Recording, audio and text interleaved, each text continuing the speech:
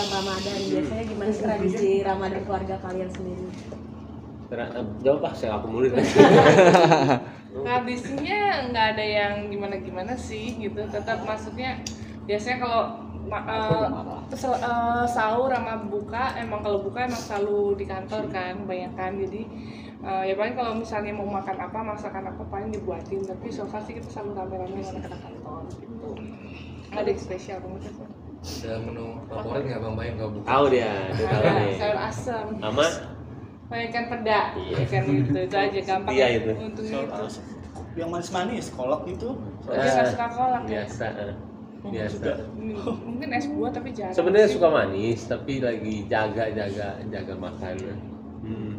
saya rasa mau pedak kalau saya Eh, sebenarnya dari tahun ke tahun itu kita eh, yang paling penting ini as- aja adain apa? Taraweh ya. Taraweh di kantor. kantor. eh udah bisa itu? Pusatnya Empat nggak jadi ini. Karena itu kan dari dua kasus. Oh iya. Terawih sama apa? Ngaji tadarus. Tadarus. Pengennya dibiasakan ya di sini supaya full.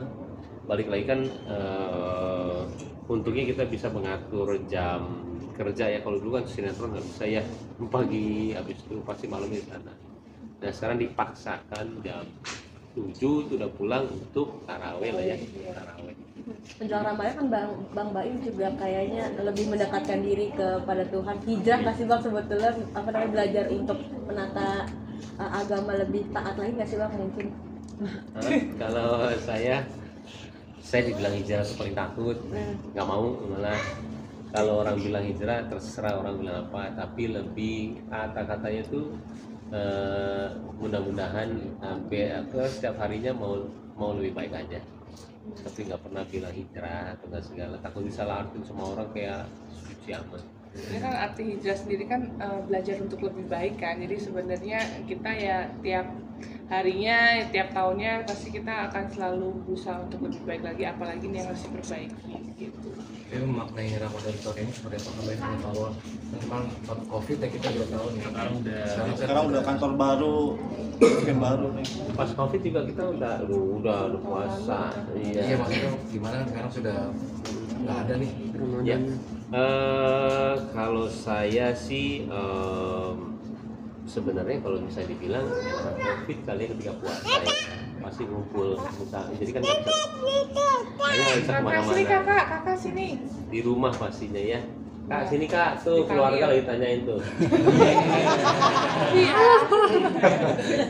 Tanyain tuh Kakak keluarga. Kakak puasa itu mau mau mulai dari kapan? Mau puasa nggak besok? Mau Tapi cara ngajarin piano kalau puasa dia udah ngerti belum sih? Kalau kayak sahur apa gitu? tahu dia ikutin aja. Ibunya yang ini nih ngajarin. Coba doa untuk makan. Robin. Rob Robi Firly. Wali Wali kau udah makan sih udah orang tua. Eh salah. Allahumma. Orang tua itu. Allahumma. Barik lana kima dia. Tanah. Barik lana Uh, di Bali tapi eh, setiap tidur ya, saya kaget sih Pak. Saya, saya, saya bingung sendiri pas dia tuh lancar ya dok. Saya kayak, wah ibunya hebat nih saya bilang. Dia semuanya ya, ya Allah maafkan dosa mama papa, Kenzo, Kiano terus apa? berilah apa kak Berilah. Malu, Malu, ya. malu. kesehatan dan panjang umur gitu ya Iya, sehat. Oh iya iya.